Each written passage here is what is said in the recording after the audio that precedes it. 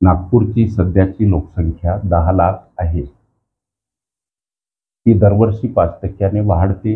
तर आणखी तीन वर्षानंतरची नागपूरची लोकसंख्या किती असेल असा प्रश्न. असे अनेक प्रश्न यापूर्वीच सोडवून झाले. वाटल्यास लोकसंख्या आणि चक्रवाढ व्याज ह्या माझ्या प्लेलिस्ट जरूर अभ्यासा. त्यामध्ये असंख्य अशी प्रश्न तुम्हाला अभ्यासता येतील. प्रस्तुत प्रश्न सोडवायचा कसा? प्रश्न नागपूरची सध्याची लोकसंख्या दहा लाख. लोकसंख्या दरवर्षी पाच टक्क्यानं वाढते. तर प्रश्न आणखी तीन वर्षानंतरची नागपूरची लोकसंख्या किती असेल? सध्याची लोकसंख्या नागपूरची दहा लाख इथं मांडा. याला गुणीला. वाढीचा दर पाच टक्के म्हणून अंशामध्ये एकशे पाच छेदामध्ये शंभर गुणिला परत अंशामध्ये एकशे पाच छेदामध्ये शंभर गुणिला परत अंशामध्ये एकशे पाच छेदामध्ये शंभर. शेकडेवारीच्या भाषेमध्ये ही पहिल्या वर्षाची वाढ ही दुसऱ्या वर्षाची वाढ आणि ही तिसऱ्या वर्षाची वाढ.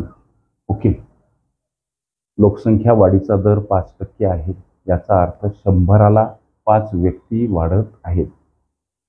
लक्ष द्या.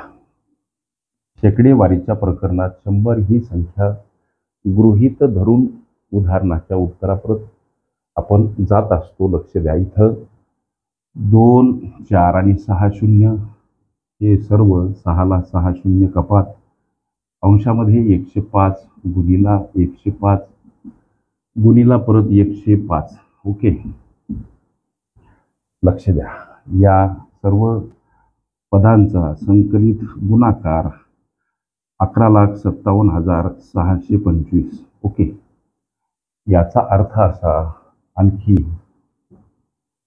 आणखी तीन वर्षा नंतरची नागपूरची लोकसंख्या अकरा लाख सत्तावन्न हजार सहाशे पंचवीस. एवढी असेल. ओके. सर एक गोष्ट कळाली नाही. हा गुणाकार तुम्ही त्वरित केला कसा? या प्रश्नासंबंधीचं मनन चिंतन पूर्वीच झालेलं असते प्रश्न कॉमेंटच्या माध्यमातून प्रत्यक्ष भेटून.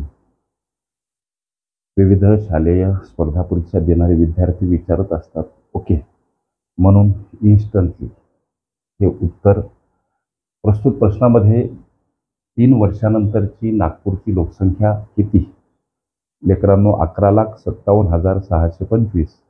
उत्तर पर्याय क्रमांक बी मध्ये दर्शवलेला आहे. अशा पद्धतीच्या अनेक संभाव्य प्रश्नांचा सराव जर करायचा झाल्यास लोकसंख्या आणि चक्रवाढ व्याज ह्या माझ्या प्लेलिस्ट जरूर अभ्यासा ओके